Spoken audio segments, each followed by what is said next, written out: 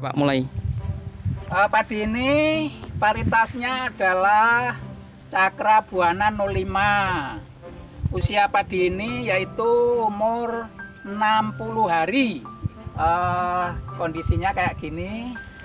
Ini eh, aplikasinya pakai eh, pupuk pupuknya setengah hektar tiga kintal setengah. Nah, kemudian aplikasi Ambition tiga kali itu eh, usia 15 hari, 30 hari dan 45 hari. Itu. Ini jadi ya hasilnya kayak gini ini. Lumayan ini.